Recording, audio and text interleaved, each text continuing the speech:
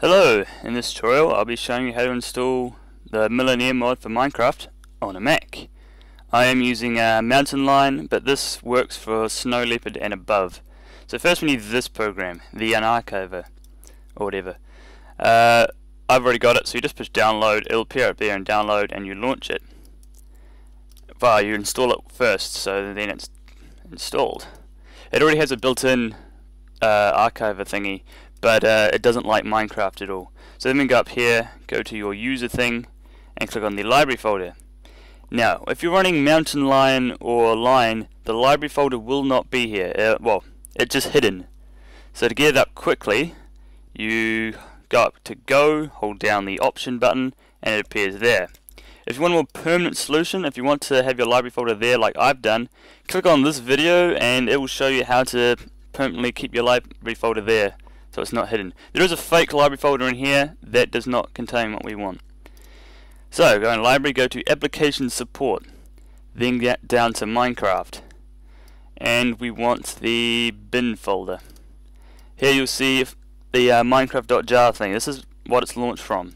So with the Unarchiver program you just downloaded and installed, you right click on it, open with the Unarchiver. That's the normal one, but it won't do what we want.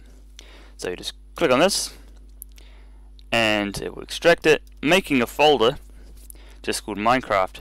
So we get rid of this, throw it in the trash, click on this, we need to rename it to put .jar on the end of it. Yeah, .jar on the end of it. Don't know what happened there. so now it should uh, launch when we click on the shortcut. So, back to here. We now want our forge. All these links will be in the description by the way. So we want our forge and we want the latest version of it. The forge site is really slow. And we want the uh, universal version. So AdFly or direct. Click on AdFly you uh, support the uh, modder. And the great thing about this well about Safari it automatically extracts it for you. So we just click on here. See all the stuff. Uh, yep all of this I have just control A okay we select all of that and we uh, drag it into Minecraft World here, Minecraft.jar. Like so. We want to apply to all and replace. So it will move all those, replace everything. And now we want to get rid of this, because meta-inf means we can't install mods. So uh, drag that out, put it in the trash. So now we want to launch Minecraft for the uh, all the folders we made. Oh wow, what's this?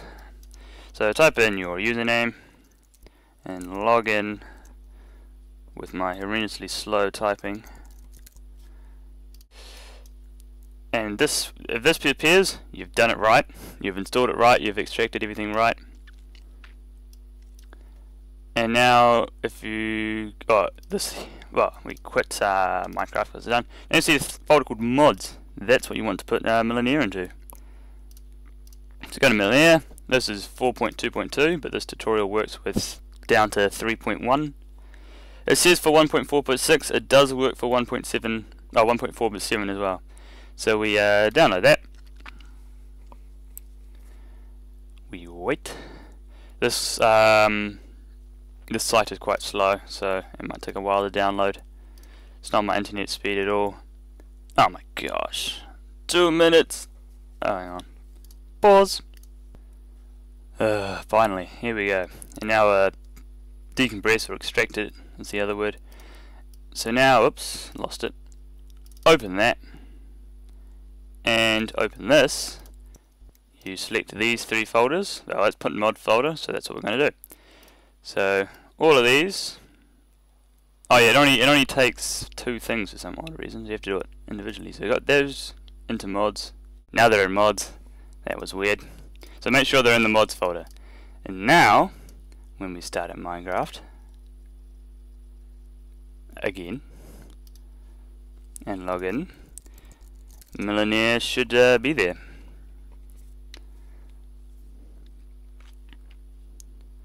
So we'll start a new game and there will be two little lines of text, well, two different colors of text down the bottom. And also Ford's actually so shows it. So Millenaire, it's working there. Let's test by uh, starting a new game, create a new world, and